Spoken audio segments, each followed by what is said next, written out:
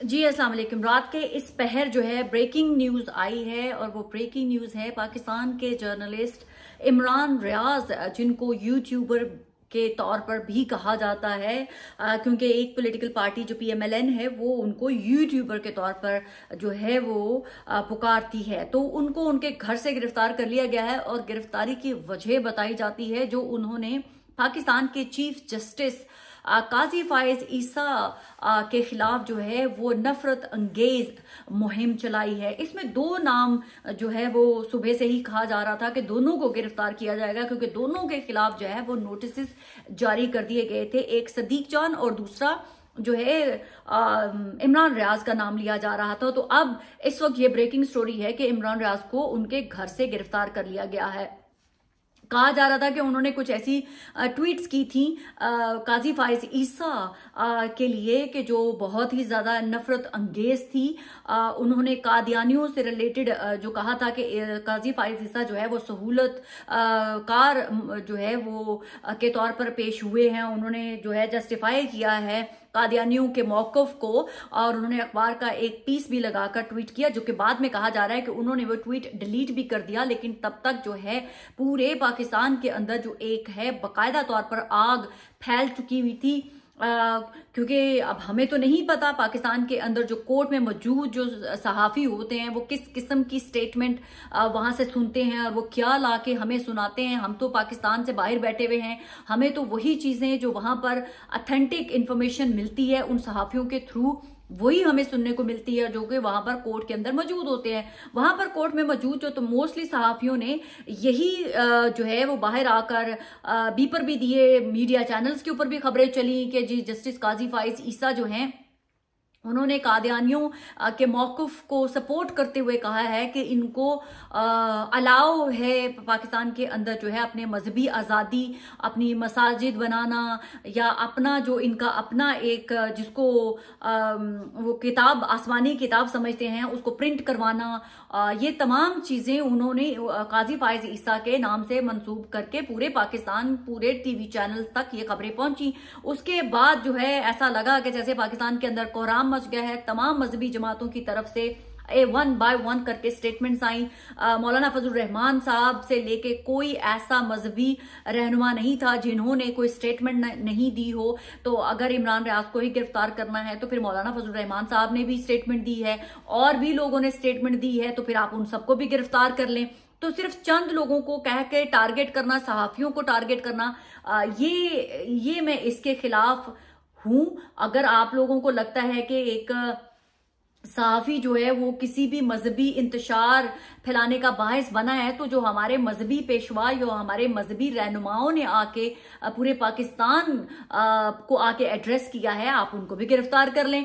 अगर आपको लगता है कि एक यूट्यूबर जो है वो इतना पावरफुल है कि उसकी एक ट्वीट जो की हुई और वो फिर डिलीट हो जाए और उसके बाद जो है आप लोग समझेंगे कि वो सारा कुछ ठीक हो जाएगा तो जो मजहबी रहनुमा हैं, जो स्टेटमेंट दे रहे हैं जस्टिस काजी फाइजीसा के खिलाफ, आप उनको गिरफ़्तार करें तो तभी ये इंतज़ार रुकेगा। आपको पता होना चाहिए, एक मेरी बात मुझे ये समझ नहीं आ रही कि जो ही पीएमएलएन की हुकूमत आती है, तब ही क्यों मज़हब और दीन के साथ छेड़खानी शुरू हो जाती है?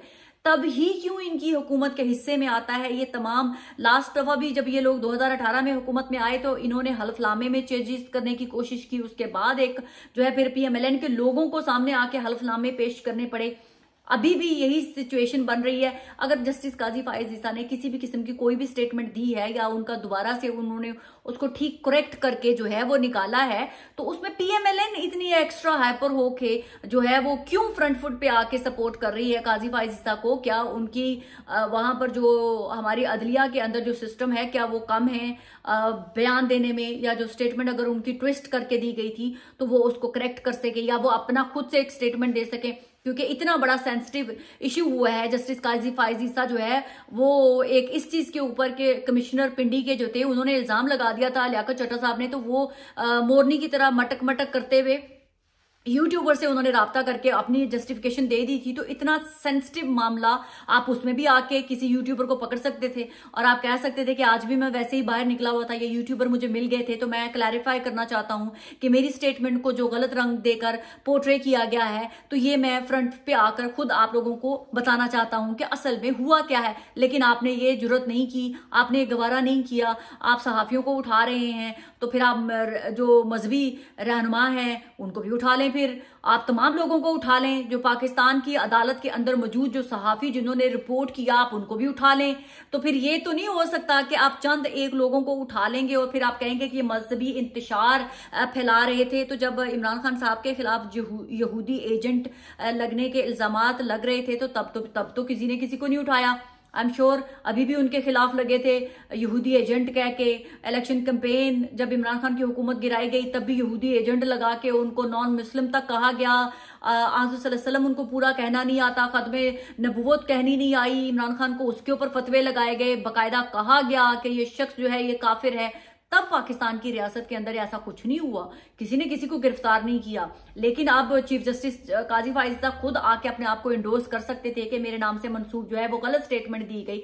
लेकिन उन्होंने ये ज़रूरत नहीं की। उन्होंने ऐसा कुछ नहीं किया। उन्होंने कोई यूट्यूबर नहीं इस दफ़ा उनके लिए मैदान में उतरा कि हम जी जाके देख लेते हैं। अगर काजी फाइजा कहीं दरवाजे पे खड़े हो जाते हैं, बाहर निकले तो हम उनसे पूछ लें, सर, आपने अदालत के अंदर क्या कहा था? कुछ ऐसा नहीं हुआ। मजहबी नफरत फैलाना चाहे वो पाकिस्तान हो, दुनिया के किसी भी हिस्से में काबिल कबूल नहीं है। ये हमारे पाकिस्तानियों को बड़ी अच्छी तरह से पता होना चाहिए। लेकिन क्या करें? अपनी मर्ज़ी की नफरत फैलाना आप लोग जायज़ करार दे देते हैं। और किसी जो आपका मुखालिफ कुछ कर रहा हो तो आप उसको पकड़ भी लेते हैं। अब पाकिस्तान के अंदर एक ऐसी हुकूमत बनने जा रही है जहाँ पर अगर हम आज का ज़िक्र भी कर दें तो वो मजहबी इंतशार में आएगा। अगर हम यही कह दें कि मैं गवाही देता हूँ, अल्लाह एक है, उसका कोई शरीक नहीं। आज़म अल्लाह के प्यारे रसूल हैं और आखिरी नबी हैं और जो है अल्लाह ताला की कलाम पाक जो है वो कुरान पाक है और वही आखिरी किताब है। तो इसके ऊपर भी फतवे लग जाते हैं कि ये दीनी मजहबी जो है वो नफरत और इंतशार फैलाया जा रहा है। पीएमएलएन की हुकूमत के दौरान अब हमें ये भी देखना पड़ेगा कि हम अपना कलमा भी जो है, ला मोहम्मद रसूल पढ़ते हुए भी डरेंगे कि कहीं हमारे पे फतवे ना लग जाए कि हमने मजहबी इंतशार फैला दिया है। या तो होना कि हमने कहा हो, खुदा न खास्ता कि जो मिनोरिटी में है, आप उनको कदगन लगाएँ, उनको बंद करें। अगर हम अपने मुल्क में रहते हुए भी कोई मुसलमान कलमा नहीं पढ़ सकता, कलमा लिख नहीं सकता आज़म को आखिरी नबी कहलवाना भी अगर उसको इंतशार कहलाया जाता है तो फिर पाकिस्तान एक मुस्लिम रियासत बनाने की क्या ज़रूरत थी? फिर तो आप कायदे आज़म की आइडियोलॉजी से ही मुनहरफ कर रहे हैं। अब जहाँ पर मुसलमान एक मेजोरिटी में है मुसलमान अपना अपना राइट जो है वो एक्सरसाइज नहीं कर सकते। अपनी सोशल मीडिया पर ये लिख नहीं सकते कि मैं मुसलमान हूँ और मैं गवाही देता हूँ। कि रब एक है, उसका कोई शरीक नहीं है। और वसल्लम जो है, वो अल्लाह के आखिरी नबी हैं, कलाम पाक, हमारी आखिरी आसमानी किताब है। अगर ये तक कहने की हमें इजाज़त नहीं है तो फिर मैं अल्लाह का बड़ा शुक्रिया अदा करती हूँ, अल्लाह ताला, आप, मैं इंग्लैंड में बैठी हुई हूँ, जहाँ मैं, मुझे पूरी आज़ादी के साथ मैं ये बोल सकती हूँ, मैं ये लिख सकती हूँ, मैं ये कह सकती हूँ, मैं अपनी एक्सरसाइज अपने मुसलमान होने की कर सकती हूँ। तो फिर मुसलमान, पाकिस्तान स्टेट जो आपने बनाई थी, उसको डिक्लेयर किया था, आप उसके आइन में से हटा दें कि जो पाकिस्तान है, ये एक मुस्लिम कंट्री है। हम ये नहीं कह रहे आप किसी मिनोरिटी से उनके, उनका हक छीने, लेकिन ये भी कहाँ लिखा हुआ है कि आप मुझे ये कहने से रोक सकें कि मैं मुसलमान हूँ, मैं किस चीज़ पे बिलीव करती हूँ। ये इसको मजहबी इंतशार दिलाना पीएमएलएन ने कब से शुरू कर दिया? क्या ये पीएमएलएन हमेशा से, क्या कहते हैं ना कवा चला, हंस की चाल और अपनी चाल भी भूल गया? ये हमेशा पीएमएलएन का वतीरा रहा है कि हमेशा जब भी इनकी गवर्नमेंट आती है, ये दीन के साथ छेड़खानियाँ करते हैं। और फिर ये मजहबी खुद लोगों के सेंटिमेंट को हर्ट करते हैं कि कब कहा किसी ने कहा कि जी आप उनको ज़िंदा रहने का हक नहीं है। हमारे तो हिंदू भाई भी पाकिस्तान में रहते हैं, वो भी पाकिस्तानी हैं, सिख भी हमारे भाई हैं क्रिश्चियन भी हमारे भाई हैं, हिंदू भी, उसी तरह से दूसरे भी सारे ही हमारे भाई हैं, लेकिन ये आप लोग को किसने राइट दिया है कि मुझे मेरे रिलीजन की प्रीच करने से भी आप उसको मजहबी इंतशार के तौर पे उसको पोर्ट्रे करके आप लोगों को गिरफ्तारियाँ करना शुरू कर दें। तो फिर आप जो है, भारत के अंदर काहे कि आप लोगों ने भारत के अंदर फिर किस चीज़ का पाकिस्तान में बैठ के रोना रोते हैं कि वहाँ पर मुसलमानों को आज़ादी नहीं है, उनके अपने मज़हब का प्रचार करने की, अपने आप को मुसलमान कहने की, ये मैं पाकिस्तानियों से पूछना चाहती हूँ, मैं ये पीएमएलएन की गवर्नमेंट से पूछना चाहती हूँ मैं पाकिस्तान की रियासत से पूछना चाहती हूँ, अगर किसी मुसलमान को पाकिस्तान के अंदर अपना अपना अकीदा शो करने की इजाज़त नहीं है, अगर हमें अपने पाकिस्तान में ये लिखने की इजाज़त नहीं है कि रब एक है और उसके आखिरी रसूल जो है, वो आसम है और हमारी आखिरी और जो किताब है, वो है कलाम पाक, वो कुरान पाक अल्लाह की आखिरी किताब है, जो आसम पर नाजिल हुई थी। अगर ये आप लोग पाकिस्तान के अंदर मुसलमान कहते हुए इसको मजहबी इंतशार का नाम देते हैं तो फिर पाकिस्तान के अंदर बैठे हुए किसी भी शख्स को कोई हक नहीं है। वो भारत में या दुनिया में कहीं पे भी रहने वाले मुसलमान के लिए आवाज़ उठा सकें और आप उनके बारे में एक जो झूठे ड्रामे और ढकोसले करके ये कह सकें कि जनाब पाकिस्तान में नहीं, इंडिया में मुसलमानों पर जो है वो पता नहीं क्या दुनिया की जो मुश्किल आप पाकिस्तान में रहने वाले मुसलमानों को उनके दीन का प्रचार करने के लिए भी आप जो है उसको मजहबी इंतज़ार का नाम दे रहे हैं। तो मैं ऐसे तमाम लोगों के ऊपर लानत भेजती हूँ, जो हम लोगों को अपने रिलीजन का प्रचार करने के ऊपर भी जो है वो उसकी कदगन लगाई जा रही है। हमने कब कहा? हमने कब कहा कि आप किसी मिनोरिटी के बारे में आ, कुछ बुरा करें। हम तो हमेशा अपनी मिनोरिटी जो बहन भाई हैं उनके लिए आवाज़ उठाते हैं। लेकिन यही आप लोग जमहूरियत और लिबरल होने की इतनी हदें ना क्रॉस कर दें कि मुसलमानों को उनसे अपनी पाकिस्तान की सरजमीन पर जो बनाया ही कायद आज़म ने दीन के नाम पर था उनसे हमें हमें हमारी आज़ादी से सांस लेते हुए अपने रब को अपने रसूल को अपने कलाम पाक का ज़िक्र करते हुए भी आप उस पर कदरन लगाएँ और कहना शुरू कर दें कि जनाब हम फितना हैं। और जनाब हम द्रुद पाक भी लिख दें तो आप कहें कि ये फितना फैला रहे हैं, ये मजहबी नफरत फैला रहे हैं। तो ये जो कोई भी माइंड सेट है, आप लोगों को ना इस दुनिया में, ना आखिरत में, ना जजा मिलनी है और ना ही उसका कोई सुख मिलना है। क्योंकि अगर आप लोग लिबरल का लिबादा ओढ़ने के चक्कर में आप दूसरों को तो खुश कर देंगे, लेकिन अपने दीन का क्या करेंगे? आप भी डिक्लेयर कर दें। हमने कब कहा है कि आप नहीं हैं? आप भी डिक्लेयर करें। लेकिन हमें तो हा, हमारे से तो हक ना छीने आप। आइंदा के बाद पाकिस्तानी खबरदार किसी ने अगर इंडिया के अंदर बैठे हुए किसी मुसलमान के लिए आवाज़ उठाई किसी फलस्ताइन के अंदर बैठे हुए किसी मुसलमान के लिए आवाज़ उठाई या यमन में किसी मुसलमान के लिए आवाज़ उठाई क्योंकि पाकिस्तान में मुसलमानों को अपनी आज़ादी से अपना रिलीजन प्रीच करने की इजाज़त नहीं है। वहाँ पर अगर आप ये लिख दें गवाही दे दें कि अल्लाह एक है और आज़म अल्लाह के आखिरी और प्यारे रसूल हैं और कलाम पाक आखिरी किताब है तो आपके ऊपर मजहबी इंतशार फैलाने का फतवा लगाकर ये हुकूमत आपको उठा लेगी, आपको जेल में डाल देगी। तो लिहाजा सोच समझ कर प्रचार कीजिएगा, सोच समझकर कलमाए हक बोलिएगा, सोच समझकर कलमा भी लिखिएगा, सोच समझकर दरूद पाक भी लिखिएगा, क्योंकि आपके ऊपर मजहबी इंतशार फैलाने का ठप्पा लग सकता है। हमारे पाकिस्तान में न लिबरल असली खालिस मिलते हैं, न मजहबी पेशवा खालिस मिलते हैं। सब मिलावट ज़्यादा है। लिबरल्स को यह नहीं पता कि उनकी हदें क्या है बाउंड्री क्या है। पाकिस्तान में जमहूरियत खालिस नहीं है। पाकिस्तान में न सब कुछ जाली है। जमहूरियत जाली लिबरल जाली, मजहबी पेशवा जाली, सब कुछ जाली।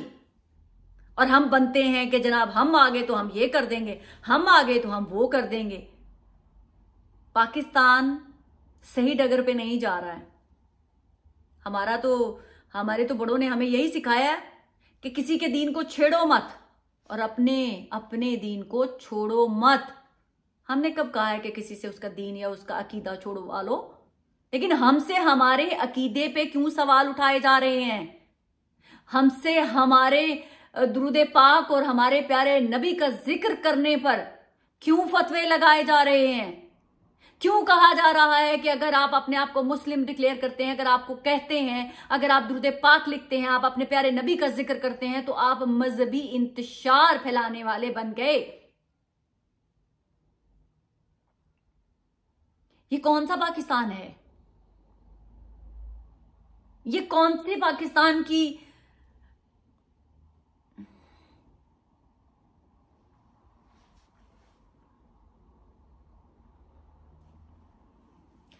सॉरी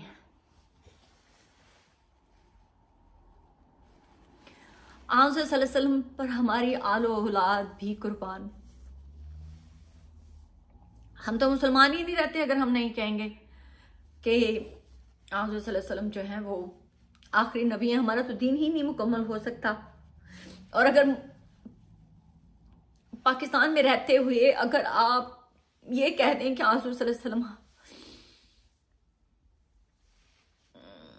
आसम सॉरी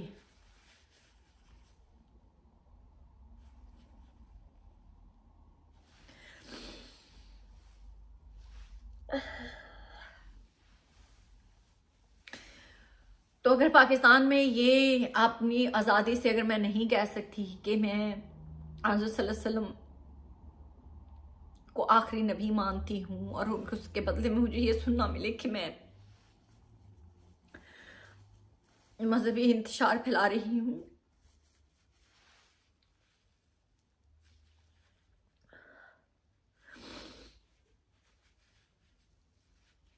तो फिर अल्लाह का शुक्र है कि मैं जिस मुल्क में बैठी हुई यहाँ पर मुझे पूरी आज़ादी है। अपने आप को मुसलमान कहने की और आसम को आखिरी नबी भी कहने की। Sorry I can't I can't say any more sorry